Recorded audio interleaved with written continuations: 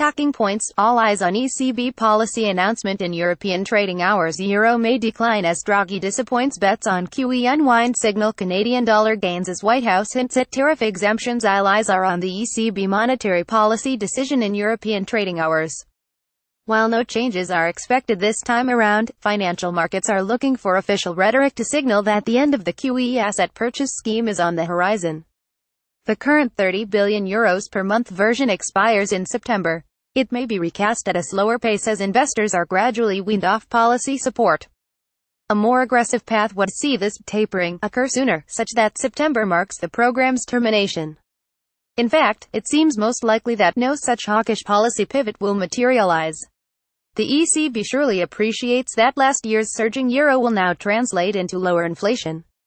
It may also be acutely aware that any tightening signal would send the currency still higher, undermining its objectives further. With that in mind, President Mario Draghi and company might be setting up the markets for a disappointment. If so, rhetoric suggesting the governing council is in no hurry to dial back stimulus coupled with a downgrade of official inflation forecasts will probably prove painful for the single currency. Commodity bloc currencies outperformed an otherwise quiet Asia-Pacific trade, with the Canadian dollar leading the way higher. The move came as regional share prices recovered from yesterday's sell-off, echoing a late-day recovery in risk appetite on Wall Street.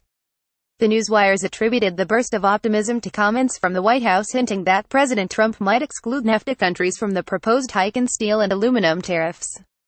Reports suggest these will be activated by 2030 Greenwich Mean Time today. That seems like a paltry gesture, particularly as EU officials threaten retaliation and Chinese policymakers are vocally displeased. This may metastasize into an all-out trade war, an outcome that might severely hurt global growth. The market's sensitivity to headline risk still made for a reversal though, as expected.